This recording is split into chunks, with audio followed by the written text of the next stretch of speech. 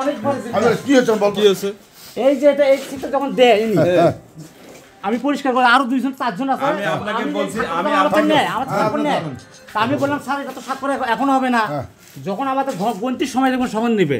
উনি আর আমাকে বলে কি এই সমন কে কিন্তু পারবে না বলে না বলে তো উনি আমি আর কার্ডটা কোথায় তোমার তো এটা কালকে হওয়ার কথা উচিত ছিল আজকে তুমি এখানে কেন আনছো? এই যে এই কার্ডটা এই আপনার কথা এই যে এটা নেওয়ার পর দেওয়ার পরে আমাকে সাইনটা তারা দেয় না। না? আরে সাইকেল দূর করে নিছে। তারপরে দূর করো।